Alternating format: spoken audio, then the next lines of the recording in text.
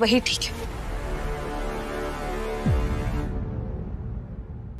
इसने तुम्हारा ट्रांसफ़र रुकवाने से पहले एक बार भी तुमसे बात करना ठीक नहीं समझा।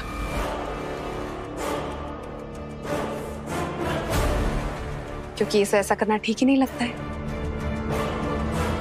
आखिर ये जो भी फैसला लेती है, वो कभी गलत थोड़ी ना होता है। है ना?